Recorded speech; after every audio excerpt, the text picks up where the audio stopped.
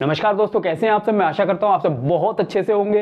मैं सुमित शर्मा टेक्निशम चैनल में आप सबका एक बार फिर से स्वागत करता हूँ। दोस्तों, अगर आप भी अपनी लाइव स्ट्रीमिंग या फिर अपने वीडियो में इस तरह का घूमता हुआ थ्री लोगो लगाना चाहते हो तो आज का वीडियो आपके लिए है। लेकिन दोस्तों वीडियो को शुरू करने से पहले अगर आपने अभी तक हमारे चैनल को सब्सक्राइब नहीं किया है तो फटाफट से इसे सब्सक्राइब कर लीजिए, जिससे कि हमारे लेटेस्ट वीडियोज़ आपको सबसे पहले मिल सके। तो चलते हैं अपने पीसी पर और देखते हैं कैसे हम इस तरह के लोगों को डिज़ाइन कर सकते हैं। तो यहाँ पर हम आ चुके हैं अपने पीसी पर। यहाँ पर आप देख रहे हो, इस साइड मेरा लोगो चल रहा है, लोगो घूम रहा है और इस लोगो में आपको चार इमेजेस दिखाई दे रही हैं। तो सबसे पहले इस तरह का लोगो बनाने के लिए हमें चार इमेजेस की ज़रूरत पड़ने वाली है। तो यहाँ पर आपको चार इमेज चाहिए होगी। पहली इमेज है आपका लोगो। अगर आप लोगो लगाना चाहते हो, लोगो की इमेज आपके पास होगी। इसके अलावा आप सब्सक्राइबर या फिर लाइव वाली इस तरह की इमेजेस भी आराम से लगा सकते हो। इस तरह की इमेजेस आपको गूगल पर मिल जाएगी। गूगल पर आपको सर्च कर लेना। यहाँ पर आप देख रहे हो, बहुत सारी इमेजेस हमें यहाँ पर दिखाई दे रही है। यहाँ पर आपको बहुत सारी इमेजेस मिल जाएँगी, जो भी इमेज आप यूज़ करना चाहो, उसे आप यूज़ कर सकते हो। लेकिन आपको एक चीज़ का ध्यान रखना है, आपकी जो इमेज है, वो स्क्वायर शेप में होनी चाहिए और साथ ही साथ उसका साइज़ 300 बाई 300 पिक्सल होना चाहिए और उसका फॉर्मेट जेपी इजी फॉर्मेट में वो इमेज होनी चाहिए। तो यहाँ पर मान लीजिए, मैं ये वाली इमेज सिलेक्ट कर लेता हूँ, इस इमेज को मैं सेव कर लेता हूँ राइट क्लिक करेंगे और सेव एज पर क्लिक करेंगे और इस इमेज को अपने पीसी पर सेव कर लेते हैं। तो ये इमेज हमारी यहाँ पर सेव हो चुकी है। इसका साइज़ है two two five two two five और ये पीएनजी फॉर्मेट में है। तो बहुत ही आसानी से आप इसके फॉर्मेट को भी चेंज कर सकते हो और इसके साइज़ को भी चेंज कर सकते हो। इमेज पर आपको राइट क्लिक करना है और ओपन विद पर क्लिक करना है और इसे पेंट में ओपन कर लेना है। ये इमेज हमारी पेंट में ओपन हो गई है और पेंट में आप देखोगे यहाँ पर एक रिसाइज का ऑप्शन आता है। रिसाइज पर क्लिक कर दीजिए पिक्सल पर क्लिक कर दीजिए और यहाँ पर 300 बाई 300 ये साइज़ हमें कर देना है। तो हमारा साइज़ यहाँ पर चेंज हो गया और अब हम इस इमेज को जेपीईजी फॉर्मेट में सेव करेंगे फ़ाइल पर क्लिक करेंगे और यहाँ पर एक ऑप्शन आता है सेव एज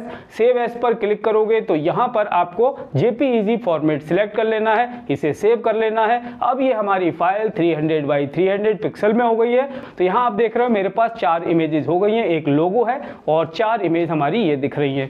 और अब हमें जाना होगा एक वेबसाइट पर. इस वेबसाइट का लिंक मैंने वीडियो के डिस्क्रिप्शन में दे रखा है. जैसे ही आप उस लिंक पर क्लिक करोगे, आप इस वेबसाइट पर पहुँच जाओगे. जो भी ऑप्शन आपको सिलेक्ट करना हो, वो आप कर सकते हो, लेकिन फ़िलहाल हम यहाँ पर सिलेक्ट करने वाले हैं हॉरिजेंटल रोटेटिंग क्यूब ये आ रहा है हॉरिजेंटल रोटेटिंग क्यूब इसको सिलेक्ट कर लेंगे तो आप देख सकते हो, अब ये हमारा यहाँ स्क्वायर शेप में दिखाई दे रहा है।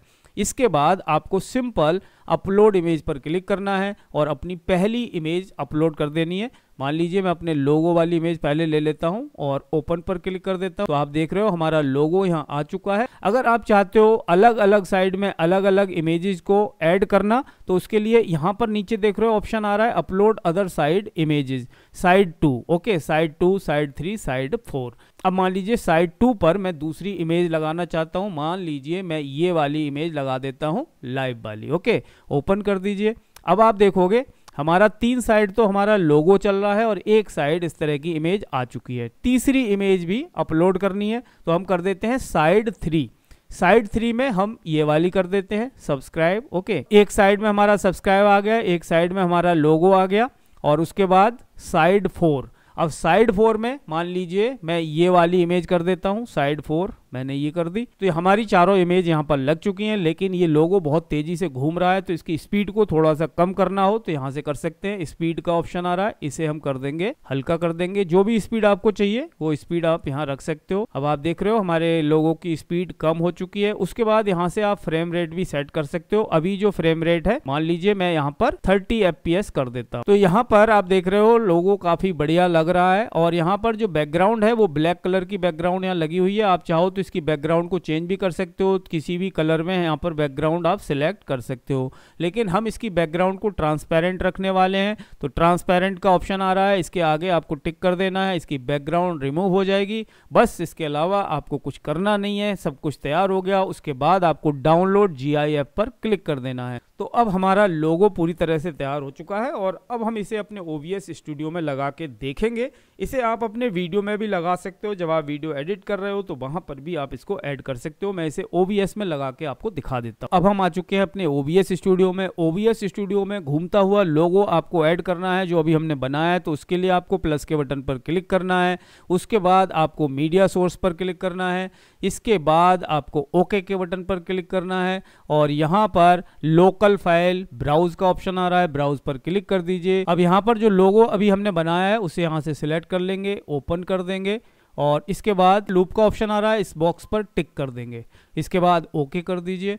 अब आप देख रहे हो, ये लोगो हमारा यहाँ पर आ चुका है। जो लोगो अभी हमने बनाया था, वो यहाँ पर आ चुका है। आप इसके साइज़ को छोटा, बड़ा जैसे भी आपको करना हो, वो आप कर सकते हो। साइज़ को छोटा करना है, इस तरह से कर सकते हो। बड़ा करना है, बड़ा भी आप कर सकते हो। इस तरह से इसे कहीं भी हम फिक्स कर सकते हैं, कहीं भी इसको लगा सकते हैं। तो इस तरह से आप इसके अंदर कोई भी इमेज वगैरह लगा सकते हो। और इसे आप अपने वीडियो में भी लगा सकते हो। मान लीजिए आप कोई वीडियो रिकॉर्ड कर रहे हो, जब वीडियो एडिट करते हो तो वहाँ पर भी आपको इसी तरह से ऐड कर देना है लोगों को और मस्त ये काम करेगा। दोस्तों, इस तरह से आप भी अपनी लाइव स्ट्रीमिंग या अपने वीडियो में इस तरह का घूमता हुआ लोगो लगा सकते हो। अगर आपका कोई भी क्वेश्चन हो, कोई भी क्वेरी हो, आप कमेंट बॉक्स में कमेंट करके पूछ सकते हो। आज के वीडियो में इतना ही, दोस्तों। मिलते हैं अपने नेक्स्ट वीडियो में। तब तक के लिए जय हिंद, वंदे मातरम।